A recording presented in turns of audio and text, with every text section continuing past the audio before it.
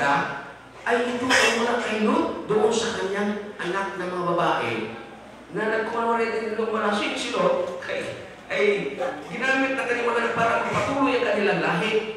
Kaya nagpaanak yung kanyang anak doon sa kanyang ama. Mga kapatid, eh, eh, tingnan niyo, yun ang lahi ng ating Panginoon Jesus kung titignan natin. Ah, doon. At uh, wala doon mga kapatid ay kung susungsugin hanggang uh, 14, uh, 14 uh, generation up to the during hanggang sa panahon ng captivity.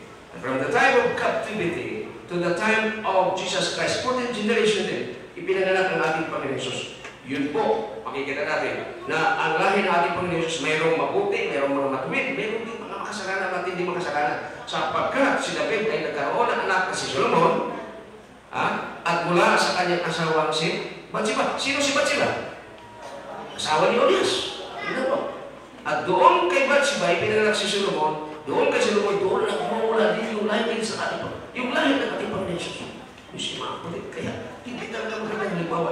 Pero sa kabila nito mga kapatid, ipinakikita lamang nito na yung Mesiyas na ipinangako doon sa lumang tipan na ipanganak ng babae, mga kapatid, na walang iba kundi ang ating Panginoon Jesus. Makikita natin at kung bakit si Jesus ay dumating sapagkat ang kanyang layunin ay tubusin ang lahi ng mga makasalanan ito, mga kapatid. Kaya kung titignan natin dito sa ating leksyon, mga kapatid, talagang kung kayo naman ay titingin sa inyong sa inyong inyong lineage ng inyong relasyon, ano kaya? Meron pa kayang uh, gaganda doon sa sa linya ng relasyon ng ating Jesus? Baka mas matindi pa. Ngayon, ano ipagpamalaki natin mga kapatid? Wala. Uh, kung titignan natin yung ating lahi, ah, hindi tayo pwedeng magmalaki sa ating mga sarili. Pero makikita natin mga kapatid, na ito ang dahilan kung bakit ang ating Panginoon Jesus ay pinanganak. At doon siya ipinanganak doon sa Bethlehem, mga kapatid. Alam ba niyo? Ang unang sumamba sa ating Panginoon Jesus ay hindi mga Hudyo.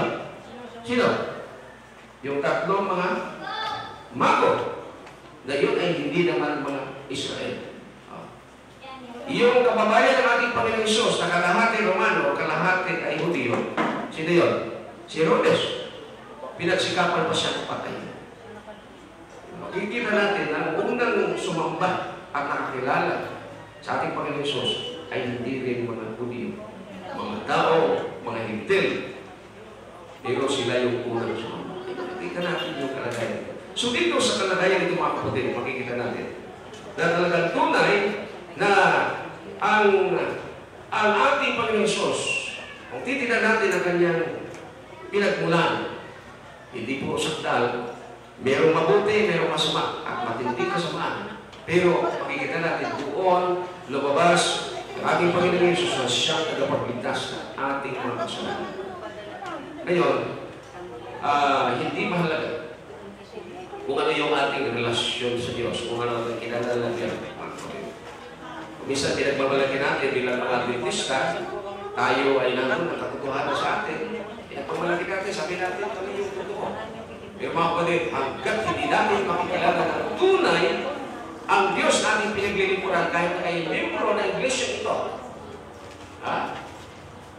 ay wala din tayo makasama. Kilala natin na kailangan ko din makilala natin ang ating sarili at makilala natin ang ating Panginoon Nakilala natin ito ang ating Panginoon Jesus, mga kapatid, doon lamang magkakaroon tayo ng pag-asa.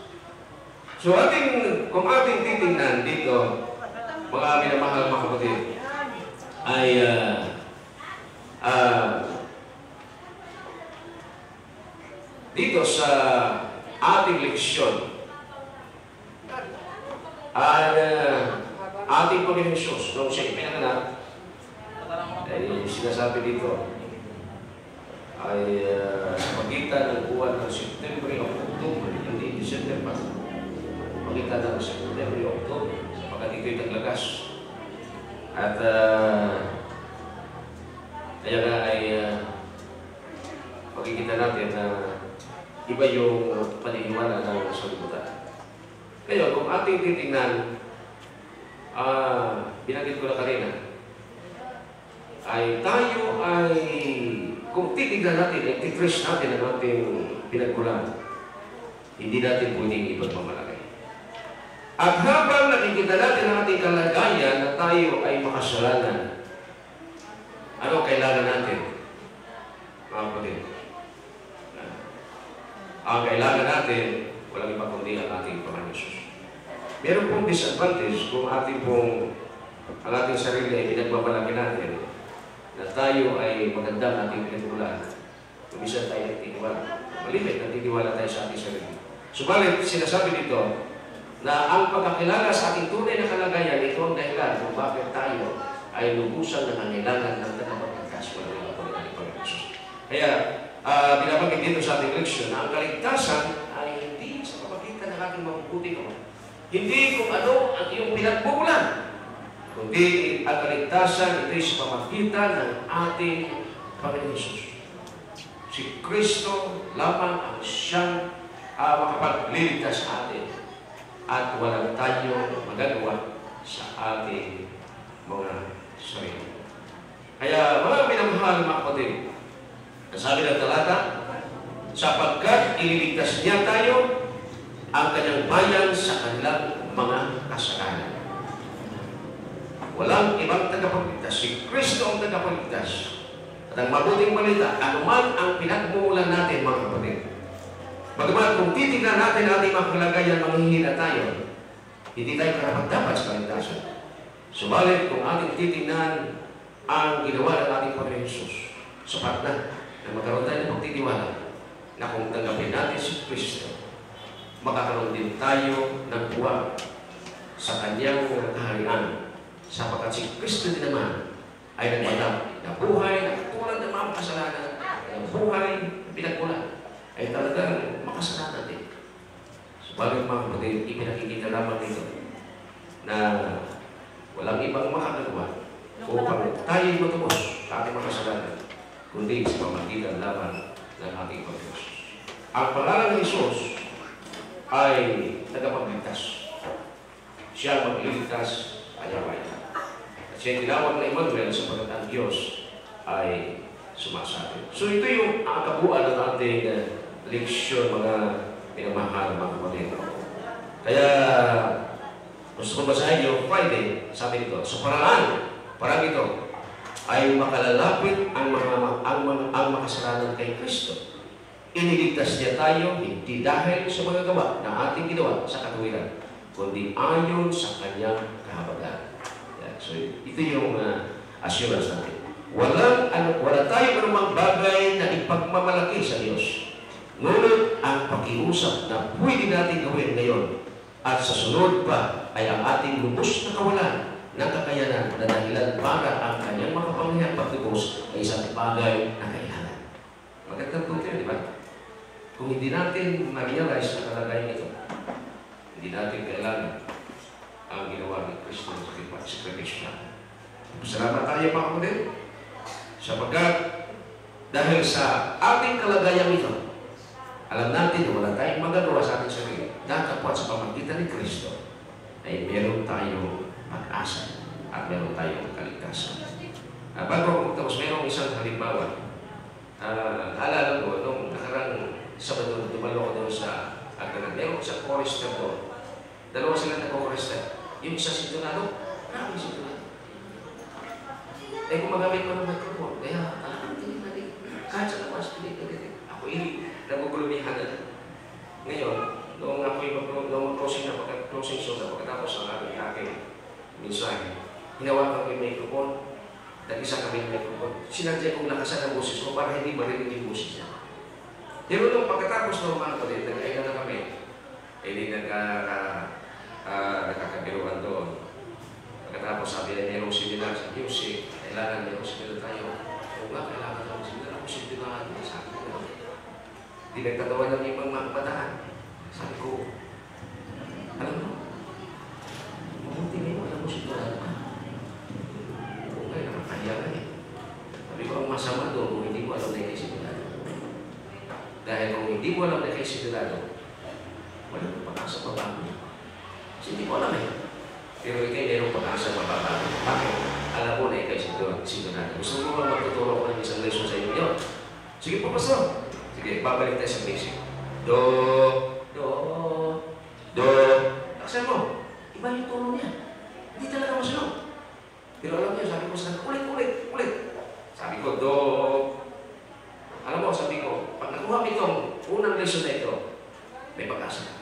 Okay, nung kapag ulit-ulit ay nakuha niya yung do, yung tono ko, na do, sabi ko, pumasa ka. Good! Sabi ko, ano? Pumasa ka sa unang lesson, pangalawang lesson. Re, re. Sigurado talaga, ilang beses ko ulit. Pero nung paulit-ulit mga kapatid, tumama din. Sabi ko, pumasa ka na sa pangalawang lesson. Sabi ko, kulang na lang ba? Kumpleto natin yan. Hanggang sa umabot sa Diyos sa pangatlong lesson na third lesson. Me. Sabi ko, umatin ka sa ano, sa training ng bataan sa Alabar, sumama ka. Dahil doon natin itutuloy yung lesson. Kumpletuhin natin yung Do, Re, Mi, Fa, Sol, La, Ti, Do. Pag na-memorize mo dun, mo yung Do, Re, Mi, Fa, Sol, La, Ti, Do, at kumpleto magandang tulo, kung may tulo nun, pasado ka na. Hindi ka na magiging sinulo. Sabi niya, sabi, Pastor, ako yung mag-aaral ng ano. Yan. Mga kapatid, bakit ko binanggit ito? Maliban, makilala natin ang ating sarili na tayo walang magagawa. Mga kapatid, hindi natin kailangan si Kristo. Bakit? Kasi nagmamalaki natin sarili natin. Pero kapag nakilala natin ang ating kalalagayan na tayo yung mga makasalanan, hindi tayo na nangailangan ng tagapagligtas. At ang tagapagligtas ito walang iba kundi si Jesus, ang ating Panginoon Jesus. Okay? So, merong tanong mga kapatid sa ating lesson na yun? Ikaw. Okay. Ah, sa case lang ng kalagayan, si Jesus ay hindi talagang anak ng si Ano po? Okay. Kasi si Susi ay siya yung power niya sa sa mga detalye. Kaya ang totoo, siya talaga ang anak talaga ni Maria sa banal na Espiritu. Bakit siya napabilang na naging anak ng si Kaya lahi nagmula sa lahi ni Maria. Kasi si Maria ay galing din sa lahi ni David. Pag iti-trace natin mga kapatid, ay si Mary ay mula din sa lahi ni David. Kaya magkapamilya sila, si Jose at si Maria, isa ang ano, lineage nila, mula din sa lahi. Hindi lang nabanggit yung pinagmulaan Ang babae. Ayan. Ayan. Ang lahat ng puto, ang ano ko yung Siyempre. Oh. Ngayon ay maganda ito eh. Alam niyo ba yung discovery nito? Si Ron Wyatt, uh, basta ba, uh, kilala ko si Ron Wyatt, uh, isa sa mga dakilang archaeologist na sa Adventist. Alam niyo, na-discover niya yung pinag, uh, pinaglibingan ng, uh, ng ano, yung gamit ng yung, yung, ano, yung kabanang tipa. Noong ang, uh, ang Israel ay dinala doon sa Babylonia. Magandang tanong ko. Dala-dala ni Jeremias yung kabanang tipan. Yung kautusan ay kabanang tipan. Pero, si Jeremias ay lumihis doon sa grupo ng mga dadalhin sa Babylonia.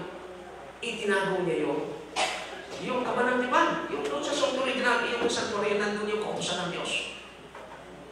Ibinaon niya doon sa bundok sa bundok ng uh, ng ano saan ba, saan ba si Isaac dinala ni Hando? Mount Moriah. Doon niya dinala. Doon sa isang kuwiba, dinala niya ito. Mga kapatid. Nilagay tinago niya doon. Alam ba ninyo? Na-discover. At ang nagsabi sa akin, nag-testimony sa akin ito si Pastor, uh, Pastor Panyes. Sabat siya isa rin sa mga nakapunta doon sa Palestina, doon sa ano, Jerusalem. Kasi pumasok doon sa butas na hinukay nila Rumayat. At meron siya napansin doon na butas na nung mapansin niya, sinabi niya kay Ron Wyatt ngayon, ay ano siya doon at hindi na siya pinabalik. At nag nagkaroon ng uh, pag, uh, pagdududa na yung butas na yun ay patungo doon sa wibak yun, doon itinago yung kabanatiman. Kaya si Pastor Manis nagkaroon ng bahagi dito sa discovery nito. Ngayon mga kapatid, alam niyo? Doon ito sa ilalim ng bundok ng pinagpakupan ng aming Panginoon Jesus. Yun ang Mount Horeb mga kapatid ng unang panahon. Na doon dapat ihandog si Isaac. Pero si Jesus ay ihandog doon sa bundok na yun, ng Mount Horeb na na yung Mount, yung bulbutan yun. Doon sa ilalim ng mga kapatid, doon ibinaon yung yung act of the. Kaya sa discovery ni Ron Wyatt,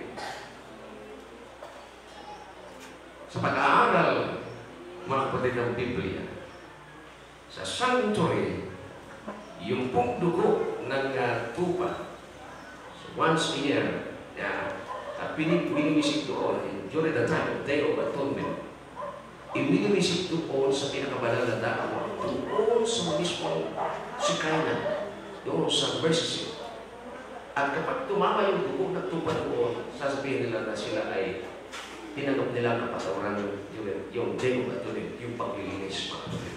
Pinapatak ito ng sasagutin mo sa banyang silangan ng seat doon sa iyong sikana, na doon nasa lalim ng kautusan ng Diyos.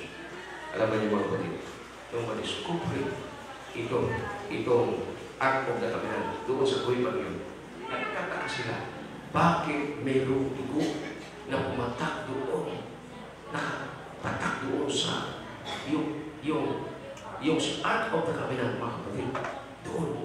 At noong pinasuri, may Ron Wyatt, yung dugong yun, matagal ng panahon, That was 1980 na discover ito mga kapatid.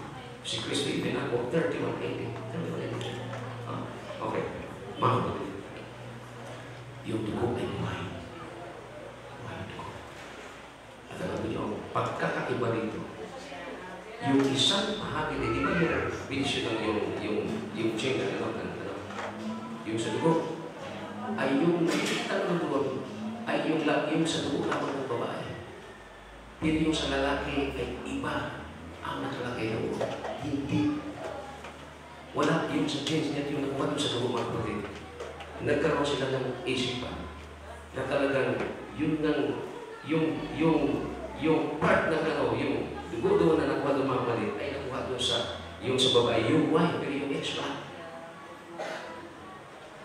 Kaya nga, pinag-iisipan nila sapagkat kung yun ang dugo ng ating Panginoon, doon pala sa tapat na yun at kung saan ibinaon yung akad ng binan. Nung si Kristo ipinako mga kapatid, tinusok yung kanyang taglilan, tagliran, at biglang dumilim yung, yung oras na yun na si Kristo ay malapit na mamatay. Nung dumilim at biglang lumindol na malakas, bumita ang lupa, patungo doon sa ilalim na ilalim, ang dugo ng ating Panginoon Jesus ay pumatak mismo doon sa tapat ng pinagtaguan ng Ark of the Covenant pumatak mismo doon sa doon sa Ark of the Covenant mga. Kaya yung type at saka anti-type ay nagkatagpo doon mga kapatid na mismo ang dugo ng ating Panginoon Jesus, hindi ang dugo ng tupa ay pumatak doon maliban ng pagdanak ng dugo ay walang kaligtasan sa doon. Kaya mismo ang dugo ng Kristo pumatak doon mga kapatid. Yun ang katuparan ng hula na kung paano yung dugo ng tupay, ipinapatak ng saserdote doon, mismo ang dugo ni Kristo ng mga kapatid. Doon, ibinakon kasi sila ng doon sila ng nagugutan. Ngayon, mga kapatid, bakit binanggit ito? Sapagkat yung dugo na dinuscover, wala lamang wala yung sa lalaki. So, yung isa doon na hindi mapaiwanag, yung ano ng Holy Spirit. Kasi ang, ang Holy Spirit, ang siya naghanda ng ating Panginoon Jesus doon sa sinapupunan ni Maria. So si Kristo ay anak ng Diyos, ay anak din na siya ng tao. Kasama mga kapatid. Yan. You see? Ito po yung ano, ito yung discovery. At uh, yan ay, meron akong ano dyan, pwedeng panoorin natin yung yung video na ni ano, ni Ron White. Napakaganda, sabi ko. Talagang napakabuti talaga Panginoon. Bakit inada niya yun? Dapat talaga mangyari na yung dugo ng ating Panginoon Jesus ay papatakbo para mag magkaroon ng katubusan tayo. So po. So napakaganda, lalo kung, na, lalo kung na, na-inspire ng mga kapatid. Bakit? Sapagkat sa halip ay si Isaac ang ihandog doon. Hindi pinahitulong ka si Isaac mamatay. Kundi ang ihandog mismo ang ating Panginoon Jesus.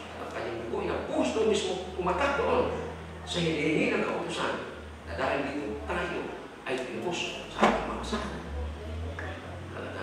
Amen, mga kapatid. So, ito po.